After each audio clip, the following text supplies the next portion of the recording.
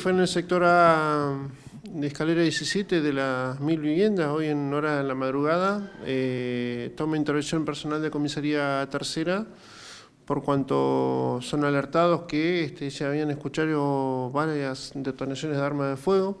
Se pudieron encontrar 29 cartuchos o vainas servidas, mejor dicho, de calibre 9 milímetros y otras 380, ¿no? Y dos cartuchos a bala calibre 9 milímetros. Desconocemos las circunstancias puntuales, eh, si hubo un enfrentamiento o no.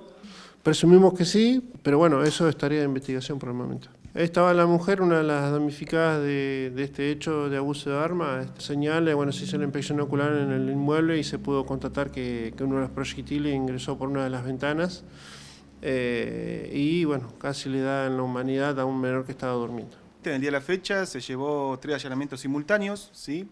en relación a una denuncia por violencia de géneros. El autor o el sindicado, una ex pareja de, él, de ella, hizo abuso de arma y también la provocó daños y la lesionó. ¿sí? No la lesionó con el arma, sino que provocó otro, otro, otro tipo de daño. ¿sí? En el primer allanamiento, en el sector A, se logró encontrar al autor de, de la denuncia, el denunciado, digamos, lo detuvimos ¿sí? y además se procedió a secuestrar en el lugar eh, dos armas de fuego de tipo revólver, calibre 22, y municiones y otros elementos que sirven a la causa. ¿sí?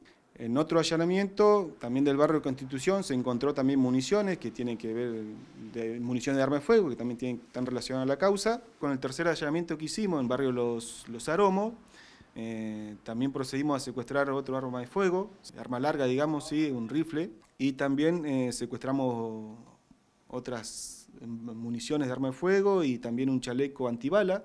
En horas de la madrugada hubo un episodio de, Barrio Constitución, el sector A precisamente, donde los vecinos denunciaron varias detonaciones de arma de fuego. Personas anónimas del, barrio manifestaban que esta persona que, quedó detenida hoy eh, tenía relación con esos hechos anoche. ¿sí? Así que es tarea de, investigación, si las armas que se le secuestramos hoy eh, están relacionados al hecho que sucedió en horas de la madrugada.